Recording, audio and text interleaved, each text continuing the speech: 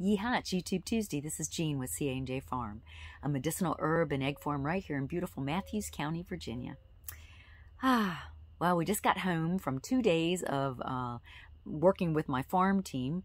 Uh, we were calling us a landscaping crew, but we decided no, we're an earthscaping crew because we don't do mowing and blowing and all that. We help you design, create, and maintain all your flower beds, help you build herb gardens, build vegetable gardens, things like that. We'll even work on small trees if they're in the flower beds.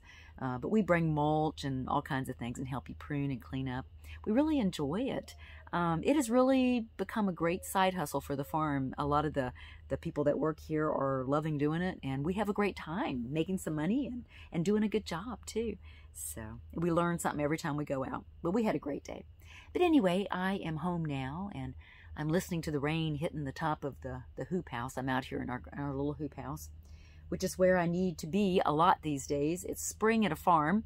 I know people keep asking uh, CA and I to to go places, you know, for dinner or something like that. And we're like, sorry, springtime is too busy. We've got to keep our, our nose to the grindstone and keep focused so that we will have a good year.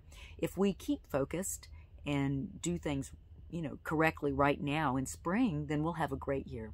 And we'll be able to relax a little later in summer as things get more, um, you know, established around here. So so it won't be so hard. But spring is the busiest time on a farm, no matter what type of farm you are. Now, we're just a small medicinal herb farm. We grow and sell the medicinal herbs. We do elderberry. Uh, we have we do eggs and uh, chicken and duck. We have about 100 chickens and about uh, 30 ducks and a bunch of rabbits that the rabbits are just for fun though they're just you know but they they add a lot to the to the farm and uh, one thing we've gotten into this year, we're, well, we actually started doing it last year, but we uh, started planting edible flowers. And this year we're going to be planting a lot of our own um, nutritious lettuces. And we're going to be making a farm salad mix that's going to have edible flowers in it. So we're real excited about that. It's funny, I, I usually start our flowers, um, our pansies and violas from seeds. And um, and I've known them to be totally um, edible. But um, I picked up a, a, a, a container of, um, of violas, which are pansies. Pansies are violas and violas are pansies. But um, anyway, they uh, are a little winter flower that does really good in the cold weather. And I picked up one from Lowe's. And it was funny. I, I was just going to, because I'm, you know, I wanted to plant these in some of the pots around the farm. And, but it, I noticed it said on the side, it says, um, it says attention. Uh, check for bee hazard warnings and pollinator precautions on pesticide labels before application. And then uh, further down, it talks about that um, not for human or animal consumption.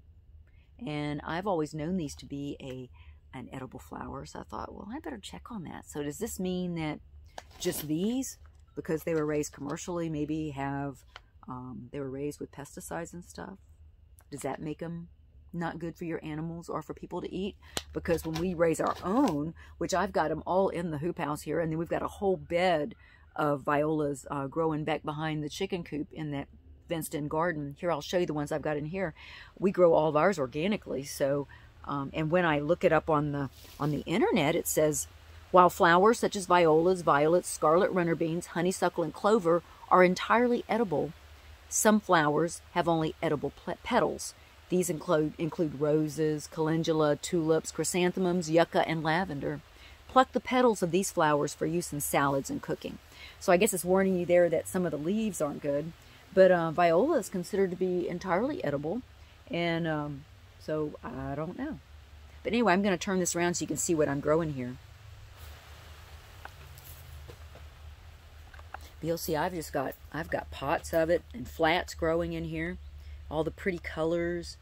And like I said, these are just extra ones that I had growing that we had planted in these, and they've overwintered in here in the hoop house.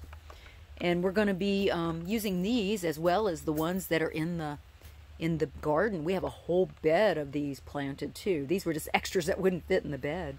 So um, anyway, ours are definitely safe. I've researched it, and they are the the correct type that are, are nutritious and, um, and, and very tasty and very safe. So, so maybe it is just oh, oh, while, while I'm looking this way too, look at the elderberry. Look at all the elderberry plants. Look, they're, they're really growing. They are really growing. Look at that. I think I showed them to you before and they were just like bare sticks. Now they're all really growing. So I'm going to have a ton of elderberry plants for people. And I'm already getting a lot of uh, text about that people want them. But anyway, isn't that neat? And, you know, whenever you have a doubt, be sure you research uh, before you do eat things. Um, I know uh, violas are like a lot of veggies. A lot of veggies have like uh, lectins and oxalates in them. Um, violas do have um, saponins in them, so research that. Um, but as far as as I've read, they're entirely edible and and and it's entirely safe to eat and full of nutritious vitamins and minerals. But like I said, always do your research and make sure that if you are growing your own too, make sure they're in a good clean place where they're not being exposed to uh, fumes from your car or you know from dogs or anything like that. You want to be sure you're growing them in a good clean place and it should be just fine. And we're very excited about selling that. And uh, I want to show you another something really quick. This is a little tip. See these cups here? They have like three inch, like here, uh, if, if you take your finger and that first little part of your finger there, that part right there is an inch. So you go one, two, three. That's about a three inch cup. And it's got plenty of room for roots. I like to start my seedlings in them because um, if you start them in those little tiny little seed starting trays, I tell you, maybe you do good about um, planting them right up as soon as they sprout and come up. Um, but I seem like I am always like, oh, I don't have time to do it now. I have to do it in a couple days. And by the time I wait a couple days, they've gotten way too crowded in those little tiny seed starting things. So I like to start my seeds in these little, in these good sized cups, really. Um, and then as they get mature, then I separate out the multiples I've got and um, and plant them in even bigger pots that I can sell them in. But um, but it gives me a little bit of leeway, you know, so that I'm not so worried about them because because if they if they grow too fast in those little tiny seed starting cells, then they get leggy, they get stressed, and some plants never recover from that that's just a little tip from me to you. Um, it looks great when they start them in those little seed cells, but you've got to be right on top of it. I mean, after they germinate, within a couple days, you need to really be potting them up into something larger because there's no room for roots there. And uh, if you're like me, where you're busy, you can't always just go, okay, I'm going to stop everything and pot up these little seedlings. Um, then, hmm, you know, you may want to try what I'm doing. It gives me a little bit more of a grace period so that I don't stress the plants. Because once you stress the plants, um, then they, they sometimes never recover. Sometimes they're always a weak plant. They don't produce well. They don't, they, they just don't do well. So just something to think about. Anyway, thank you. It is uh, starting to rain and I'm going to go water all the seedlings that are in my grow room inside the garage. And uh, we're, we're getting ready for uh, actually an event this weekend. We're going to try having our first of many wellness days here at the farm. We're going to do one a month through October. And this week, this Saturday is going to be our first one. And I'm really excited about it. Of course, it's still going to be March. Um, so we're not going to be selling plants. Um, the weather so far looks like 60s and sunny Saturday. I'm like, please, I hope so.